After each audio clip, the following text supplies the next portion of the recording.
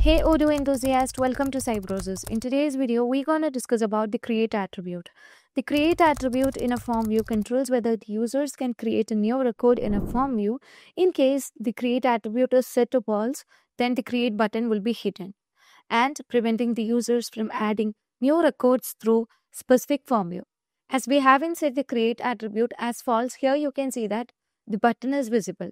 So upon clicking on new button, you can see that we can create a new record. So I just want to hide this new button from my form view. So if I want to set so, I'll be setting the create attribute as false. So in order to do so, you can just move on to the PyCharm. And in the PyCharm here, you can see that we have the form view. So as it's an attribute of form, we have to set the attribute inside the form tag. So here I'll be setting it as create equal to false. So when we set likewise, you can see that uh, the create button will be hidden from the interface. So as you just move on to the app, here first we have to load the changes that we have made. For that we have to upgrade the module. So let me click on upgrade and here you can see that it will be upgrading right now.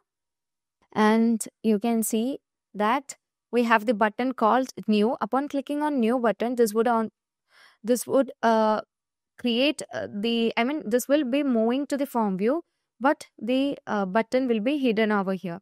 So here you can see that as you just uh, click on the new button, this that would allow you to redirect into the form view, but that will not allow you to create a new record.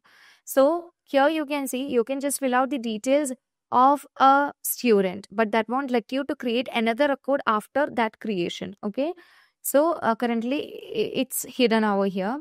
And you can see that here you can see uh, we cannot uh, uh, we cannot do further changes over here okay?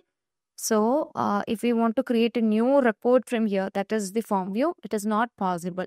So it is simply useful when you want to allow users to edit uh, or delete the records but restrict the ability to create a new one. So that's all for today. Thank you for watching the video.